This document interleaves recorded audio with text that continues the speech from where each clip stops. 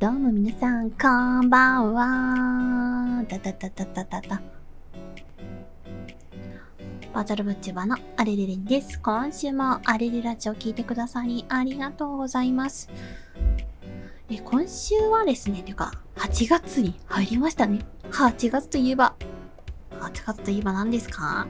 何ですか皆さん。そう、夏休みです。皆さんは夏休みにどんな思い出をお持ちですか？私は、えっと、自分で言うのもなんですけど、真面目だったので、宿題はもらったその日に終わらしているという、ちょっと頭のいかれた学生でした。その日にほぼ夏休みの宿題を終わらせまして、まあ、長期計画的なやつ以外はね、あの、全部終わらして、他の勉強をしてるような真面目な子でした。自分で言います。はーん、天才ははで、夏といえばなのですが、私、えっ、と、YouTube での活動以外に、まあ、Twitch での活動をしていると、まあ、以前よりお話しして、え、以前よりね、話してると思うんだけどね、Twitch で配信するにあたってね、まあ、ただ見てもらうのもなーと思って、あの、毎月、できれば毎月な感じなんですけど、まあ、いろんな企画をやったりしてます。なんと8月はですね、あれれれいに、ソーシャルゲーム風のガチャを作りました。えっと、私の配信ですね。あの、まあ、なんですかね、YouTube で言うとこのスーパーチャットにあたる Bits というね、あの、やつを投げると、ま普段スロットができるようになっております。ただ、こ今月はスロットだけじゃなくて、アレレレンギのアレレレンギと楽しむ夏休みというテーマで、ガチャを引くと、アレレレニーの夏のカードが当たります。アレレレニーので過ごす夏。例えば海だとか、例えばお祭りだとか、そんなね、夏の私のイラストをね、何点か準備しまして、え、SSR が、まこのラジオを撮ってる時点では3枚。もしかしたら増えるかも。で、SR が、えーまあ一応、このラジオを撮ってる限りで言うと3枚。それぞれ準備されております。さあ、あなたはね、この夏、アレレレニの SR と SSR を出せるのか、運試ししてみてはいかがでしょうか。で、えまあ、サブ企画って言ったらあれなんですけど、一緒に楽しむ夏っていうテーマでやっているので、えっと、なんとですね、自分のオリジナルのイラストアイコン、まあまあまあ言ったらハバートメレニさんみたいにね、こういう VTuber のイラストですとか、まあ、Twitter だけで使ってるよとかでもいいんですけども、そういったね、自分のオリジナルのま人に書いてもらってね、その人オリジナルとかでもいいよ。がある方限定で、なんとあなたもカードになれます。まあね、な、えっと、ノーマルカードとして、えっと、参加できるようなチャンネルポイントを作っていますので、もしよかったらね、あの、参加していただければと思います。ただ、すいません、参加には多少審査がございますので、そこだけご注意ください。というわけでね、みんなの夏休みはどんな開幕してるのかな？これから1ヶ月楽しみだね。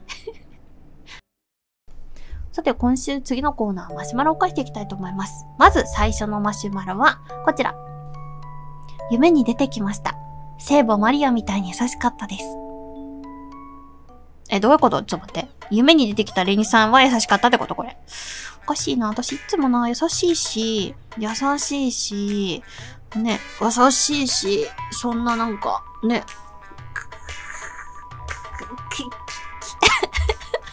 優しいと思うんだけどなおかしいなあれれーって感じですね。マシュマロありがとうございました。えーと、続いてはこちら。えー、アレリラジオでボツになったものをいろいろ紹介してほしいです。あー、ボツになったものか。正直ね、あのね、まあ、喋って、まあ、あ、なんか前言ったと思うけど、台本特に作ってないので、まあこういうテーマで喋ろうみたいなのはざっくり決めるけど、まあこういうので喋ろうって決めて喋って、で、まあ動画編集しながらまあ聞くじゃん。聞いて、良くなかったなと思ったらもう全部消しちゃうので、覚えてないんですよね。なんだろうね、覚えてないわ。ほ ガチで覚えてないわ。いや、本当に覚えてない。びっくりするぐらい覚えてない。逆にさ、こんなクソみたいな企画みたいなさ、案があって、そこから面白いやつにできたらすごいなと思うよね。やっぱさ、なんかこう、ね、やっぱ、なんていうの、一応ラジオテーマでやってるからさ、音声コンテンツとしてやるってなると結構難しいんだよな、これが。まあまあね、あの、ね、音声コンテンツとは言いつつも見てくれてる人もいっぱいいると思うんですけどね。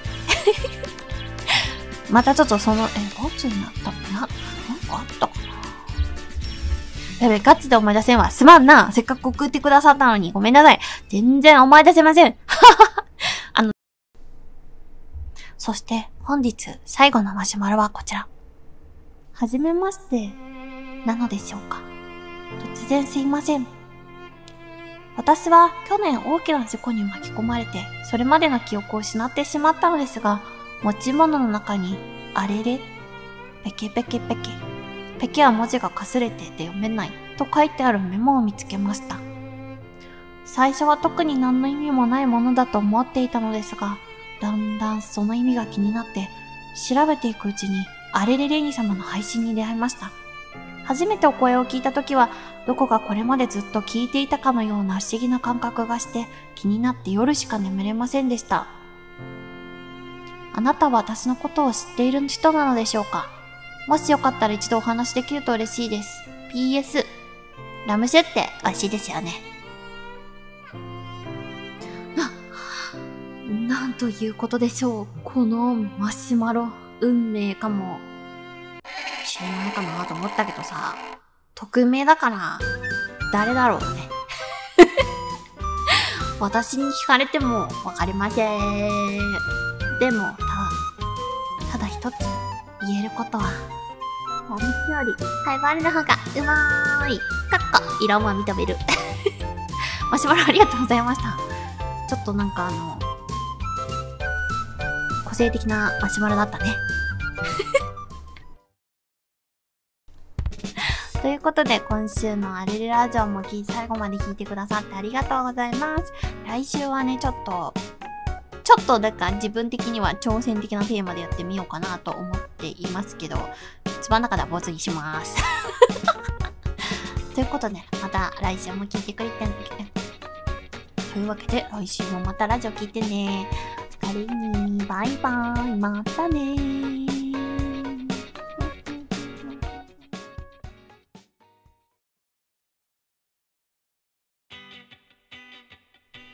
動画を見てくれてありがとう。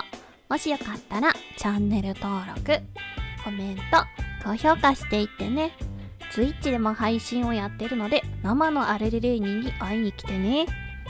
またねー。バイバーイ。